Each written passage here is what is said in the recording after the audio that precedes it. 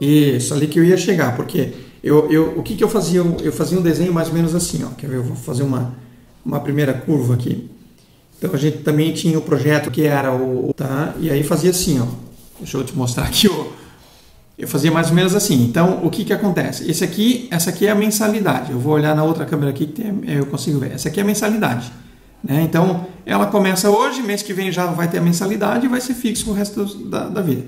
Agora, quando a gente depende de projeto, no primeiro mês, às vezes vem, vem poucas pessoas trabalhando no projeto, aí eu tenho X faturamento. Só que na metade do projeto eu tenho muitas pessoas trabalhando e vai te gerar um investimento muito alto.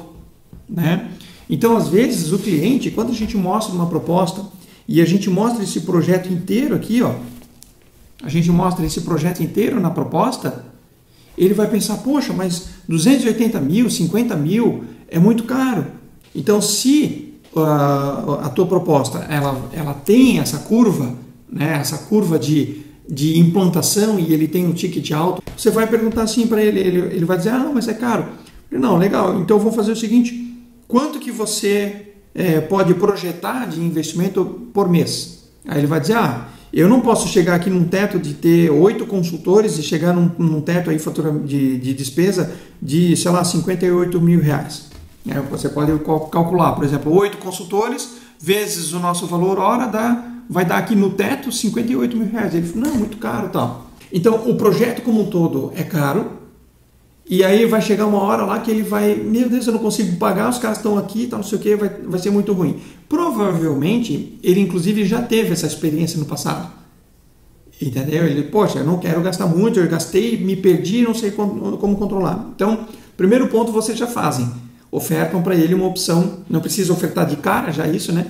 Mas pode ofertar uma opção de fazer em 10 vezes, que daí na verdade ele vai ter só isso aqui. Ele vai ter só um investimento fixo mensal e vai ter o projeto pronto. E agora é muito importante também, talvez você fazer essa projeção do teto. Né? Então, ó, qual é o teto que vocês podem é, fazer desse investimento? Ah, vamos supor, eu vou chegar num teto de 20 mil. 20 mil eu não posso gastar mais do que isso no mês. Não, legal, então a gente vai fazer uma gestão de projetos, de forma com que o nosso consumo hora não ultrapasse 20 mil reais mais a manutenção mensal. Então a manutenção mensal mais o, o, o projeto não vai passar 20 mil reais. Isso é bom para vocês?